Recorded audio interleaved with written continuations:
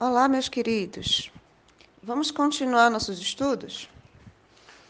Hoje vamos aprofundar nosso conhecimento sobre os períodos.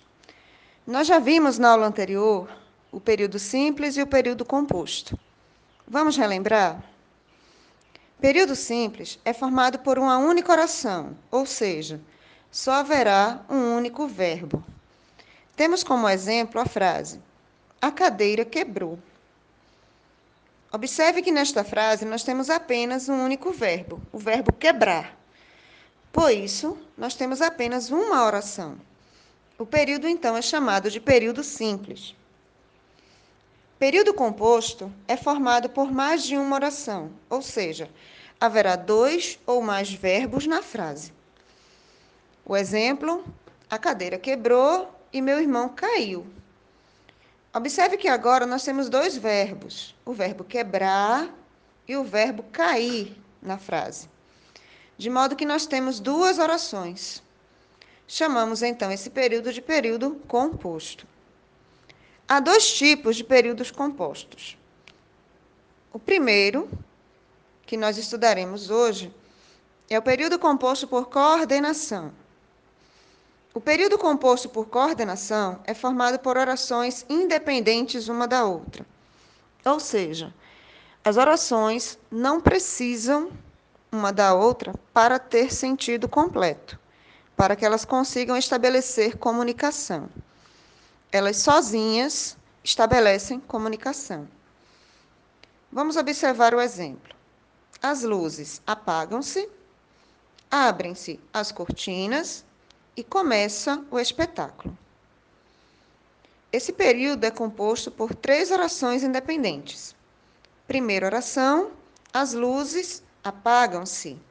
Segunda oração, abrem-se as cortinas. Terceira oração, começa o espetáculo.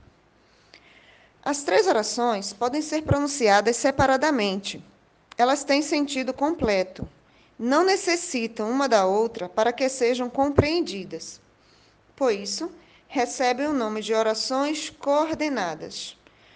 Quando as orações coordenadas são reunidas em um único período, nós chamamos esse período de período composto por coordenação. As orações coordenadas, elas também podem ser classificadas em assindética ou sindéticas. As orações coordenadas assindéticas não são introduzidas por conjunção. Elas ligam-se a outras por sinais de pontuação, como, por exemplo, por vírgulas. Observe o exemplo anterior. As luzes apagam-se, abrem-se as cortinas. As duas orações iniciais do período são orações coordenadas assindéticas porque nenhuma das duas são iniciadas por conjunção. E as duas estão sendo ligadas por uma vírgula, por um sinal de pontuação. Ok? As orações coordenadas sindéticas são introduzidas por uma conjunção. É uma obrigatoriedade. Todas as orações coordenadas sindéticas são introduzidas por uma conjunção, que é o, o exemplo da terceira oração do período que nós vimos. E começa o espetáculo.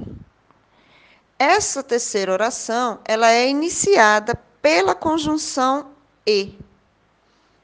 A conjunção e é uma conjunção aditiva.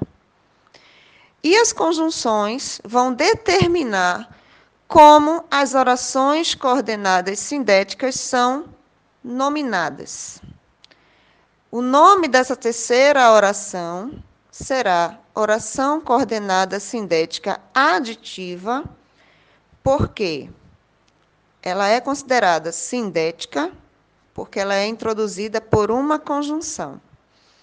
Ela é chamada também de aditiva porque a conjunção que inicia a terceira oração é uma conjunção aditiva. Eu espero que vocês tenham compreendido perfeitamente a diferença entre as orações coordenadas sindéticas e as orações coordenadas assindéticas. mas qualquer dúvida, podem me contatar pelos nossos canais e nós vamos tirar as dúvidas juntos. Vamos pesquisar, vamos exercitar e vamos tirar as dúvidas, ok? Um grande abraço, beijo a todos, fiquem com Deus.